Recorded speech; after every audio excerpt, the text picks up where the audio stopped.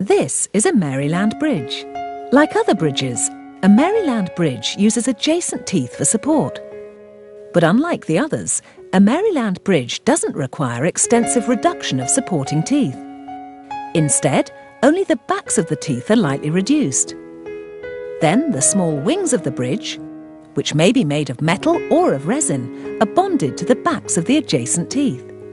The advantages of a Maryland bridge are less tooth reduction, which means stronger teeth and less likelihood of sensitivity, healthier gums.